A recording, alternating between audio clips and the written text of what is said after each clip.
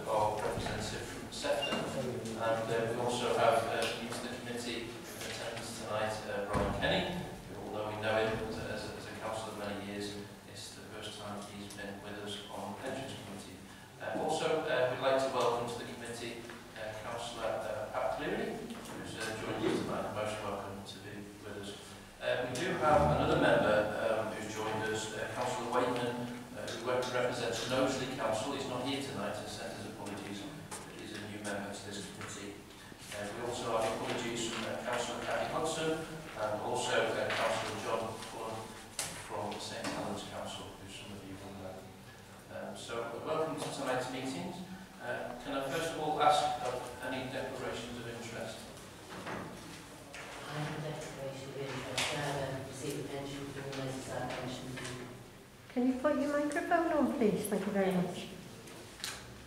I have declaration of interest and I receive a pension from the Merseyside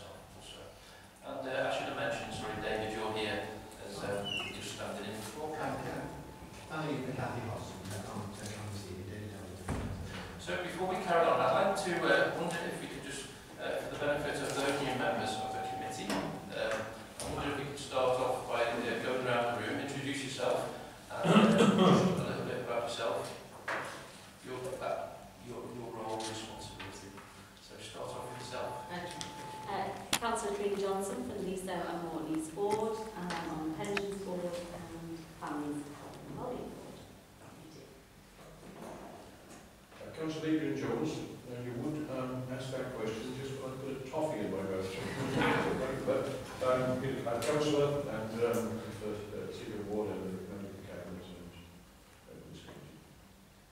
Uh, my name is Paul Wiggins. I represent the retired members for the Investment Pension Fund. This is my last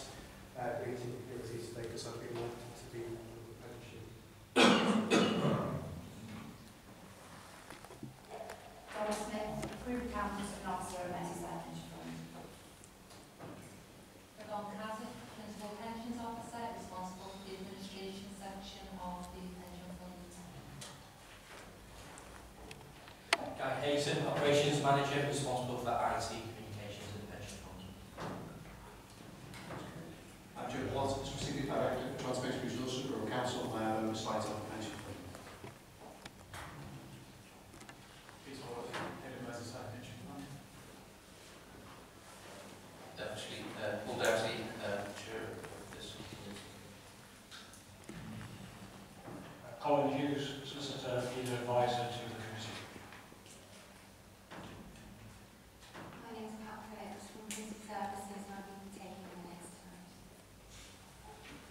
suggerire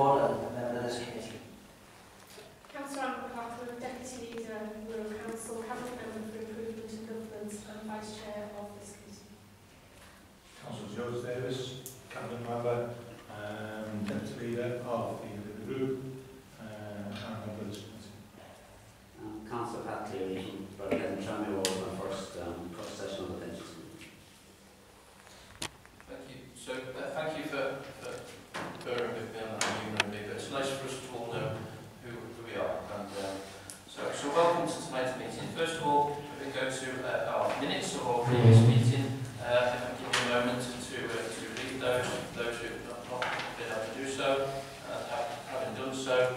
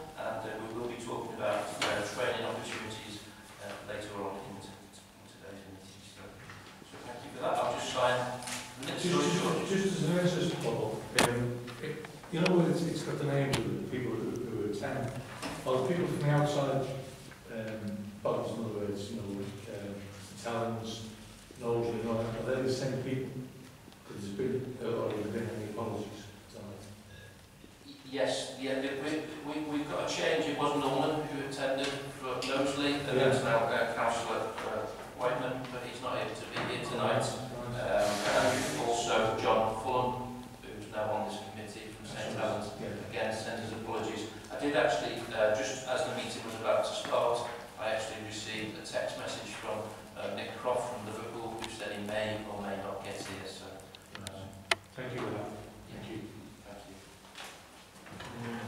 Paul, I do apologise.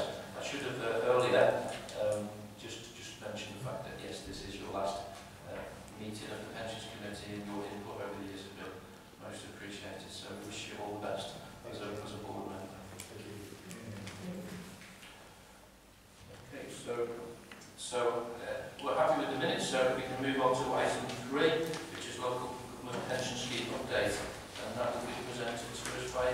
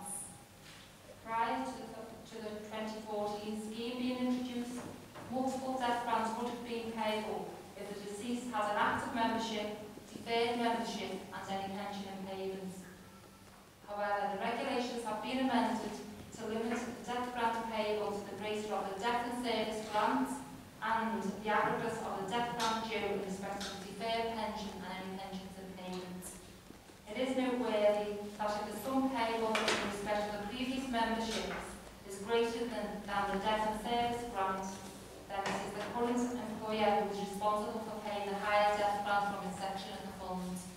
And this must have implications on the employer contributions to the active employer.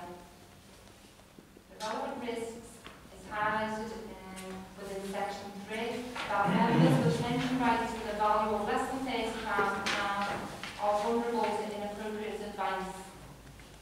The fund must also be liable for lost pension rights if processes are not robust in ensuring members receive appropriate advice when pension rights are in excess of £30,000. The resource implications under section 8 raises awareness that some employers may use new flexibilities as an opportunity for liability management, as transfers reduce deficits and the funds exposure to risk um, exposure to longevity improvements. Section 8.3 provides an illustration that if 10% of members transfers at, transfer at age 60 instead of taking their full benefits, that the funding deficit within MPF will reduce by £2 million per annum. The recommendation is that members move the report and I'm happy to see any questions on the subject. Thank you, Chair. Questions relating to this report?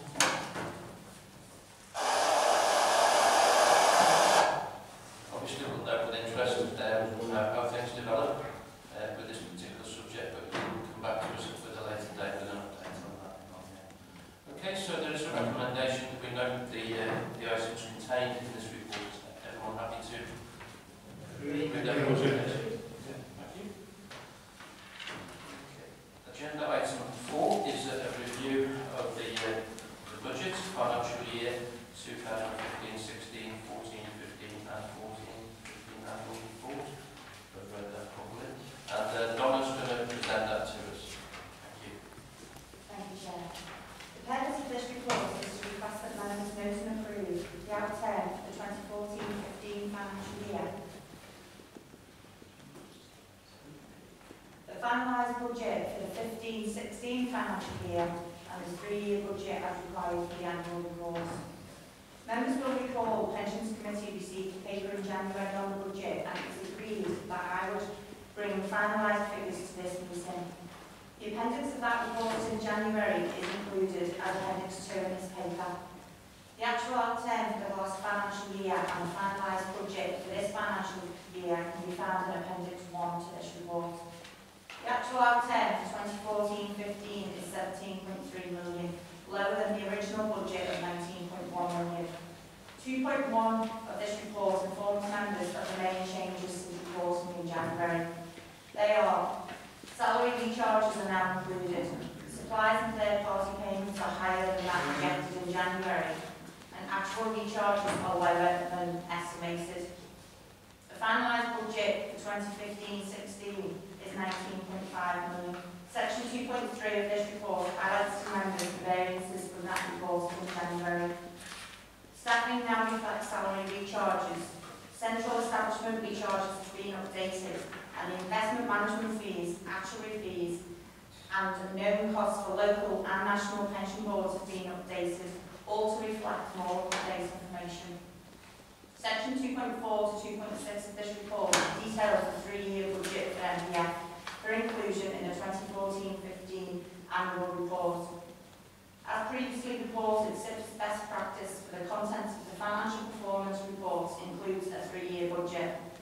Approval is sought to include the three-year budget in this year's annual report, although annual budgets will still be brought to Pensions Committee for approval.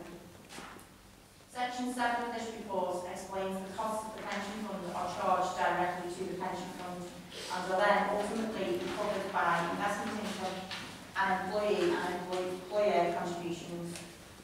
This report recommends in section 12 that members note the actual outturn for 2014-15, approve the finalised figure for 2015-16 and approve the inclusion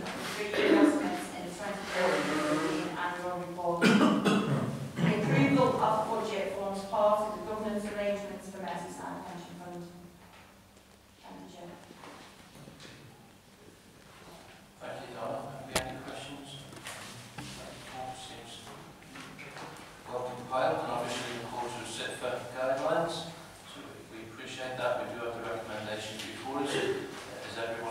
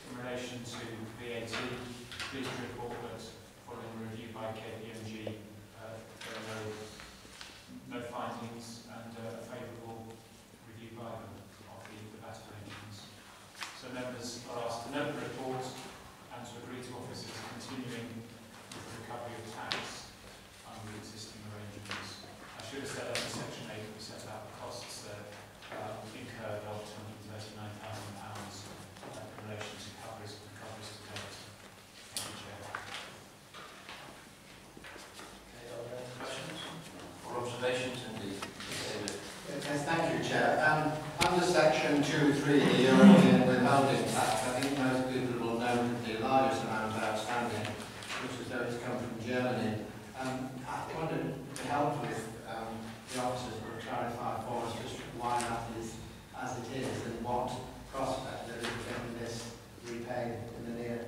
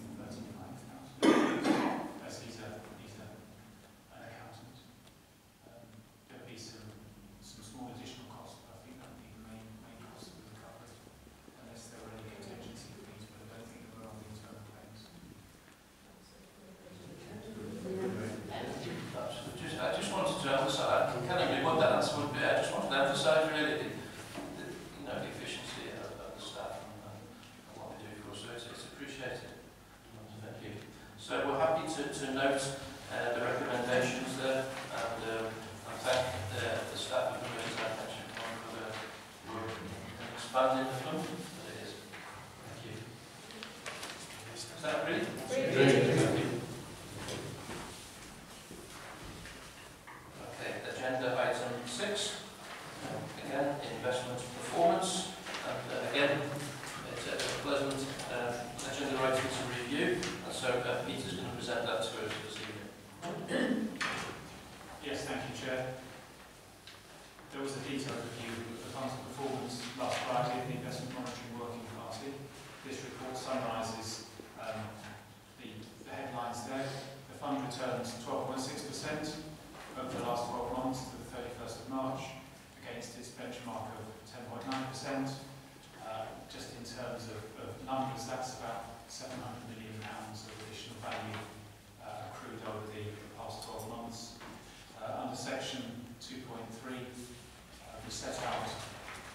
importantly, that that performance against inflation and against average earnings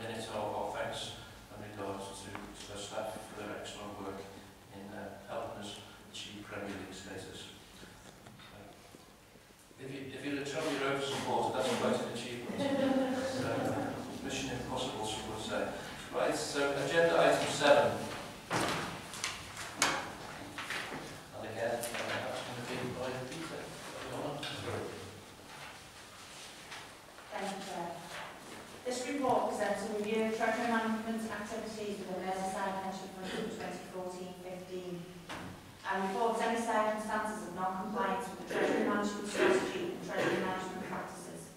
On the 20th of January 2014, the Pensions Committee approved the treasury management policy and strategy for 2014-15. As at 31st of March 2015, MPF, MPF had a cash balance of 50.9 million on instant access accounts. The overarching investment priority during the year was managing counterparty risk. Section 2.7 of the report highlights that over the 12-month period, WM calculated the cash performance to be 0.7% against benchmark performance of 0.3%. There was one area where MPF was non-compliant with policy during 2014-15, detailed in section 2.10. MPF can continue to maintain a small balance on an instant access account with RBS, MPF's previous bankers, to keep the account open as on occasion receipts are still credited to this account. Section 13 asks members of Pensions Committee to agree the Treasury Management's annual report for 2014-15. The reason for the recommendation, as detailed in section 14, is the Treasury Management Code requires public sector authorities to determine an annual Treasury Management strategy, and within that strategy is a requirement to formally report after the year end to those charged with government. Thank you. Okay, once again, are there any questions on that? Well, should we do have a recommendation, I'm happy to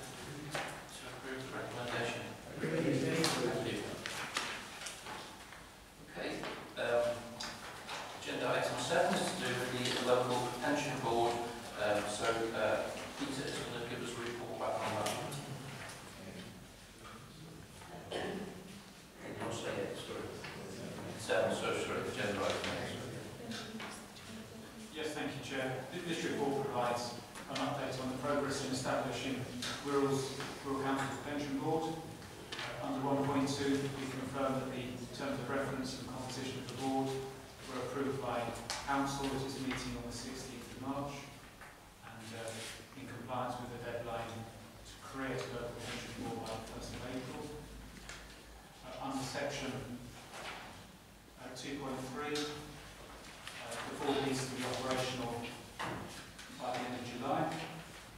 Uh, under section 2.6, a selection panel was established uh, comprising the three member representatives mentioned and uh, the selection panel took place on the 15th of May and, and those appointed represent the very different types of employer groups and membership categories within the fund. Uh, the appointments made are set out under section 2.11 an independent chair for employer representatives. Again, they, they cover the various constituencies, an admission body further education and two scheduled bodies. And then similarly with the member, member representatives, uh, we have a representative for pension members, a representative for deferred members, and two representatives for active members.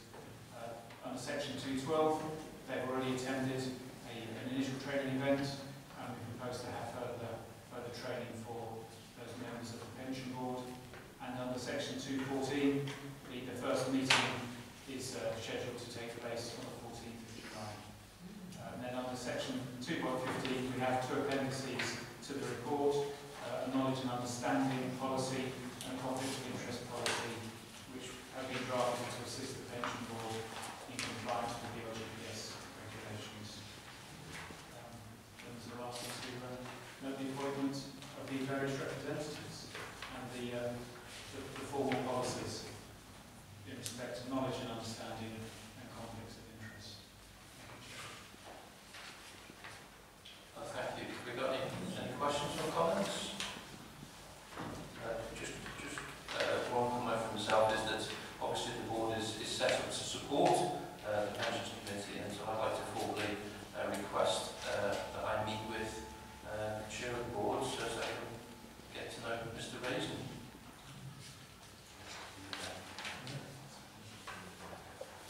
Okay, no other comments? So happy to uh, approve the recommendations. Yes. Thank you. Right.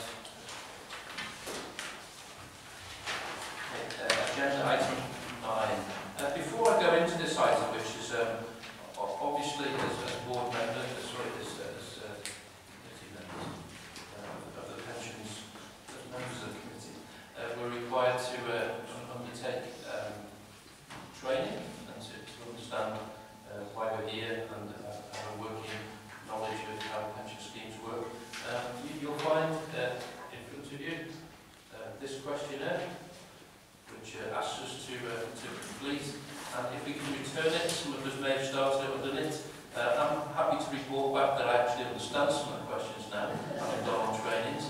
Um, so uh, my mark out of 10 might go up slightly. So it, we, we- we are being asked to, uh, to, reper, uh, to complete this and return it as soon as we're able to. And the purpose of this really is to assess our knowledge and what training needs we may have. So that's correct. And uh, please put your name on it so we know who you are. Okay, so Peter's going to uh, introduce this agenda item 9, which is to do with the NAPF uh, annual conference exhibition. Yes, thank you, Chair. And again, for background, in January we've been a, a, a report to committee which sets out all the training events we're aware of over the forthcoming 12 months. Uh, this NAPF annual conference is on that schedule. Um, it's due to be held in Manchester on the- on- between the 14th and 16th of October. Uh, the venue does vary, alternate between Liverpool and Manchester. We've been represented at all previous NAPF annual conferences. In this case, there's no need for members to attend all three days. Looking at the agenda and a, a supplementary paper has been provided with uh, a clear agenda, I'm pleased to say. Uh, certainly Thursday looks uh, topical with a fair amount of coverage of the freedom and choice changes which were introduced in April this year, but I encourage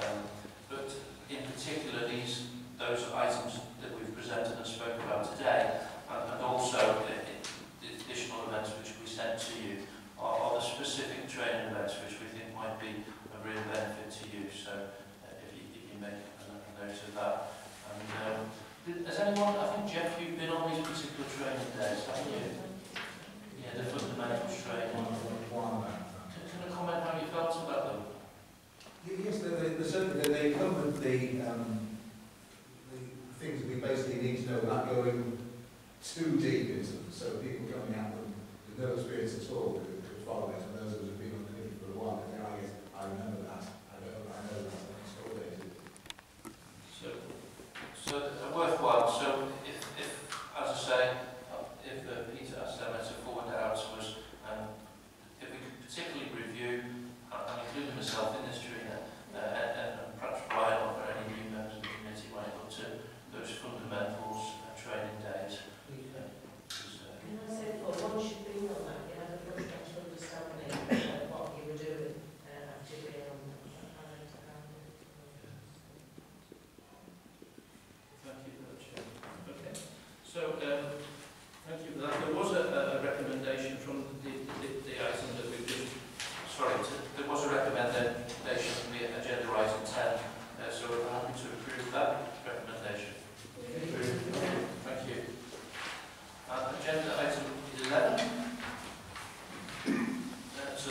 An exempt item, um, minutes of the um, uh, Investment Monitoring Working Party. Um, uh, I suggest that we approve those minutes as part of the exemption. Present items. To the end of the. So,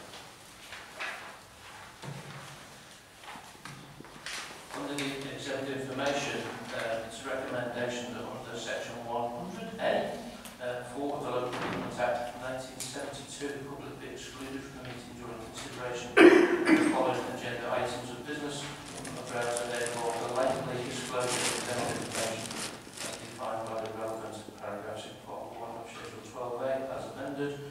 To that act, the public interest test has been applied and favours exclusion. So if we can, um, is anyone happy to move that? Move, Chair. Okay, thank you. So I'd like to thank the members of the public for your attendance at tonight's meeting. You. You've still got to vote on it. Uh, yeah,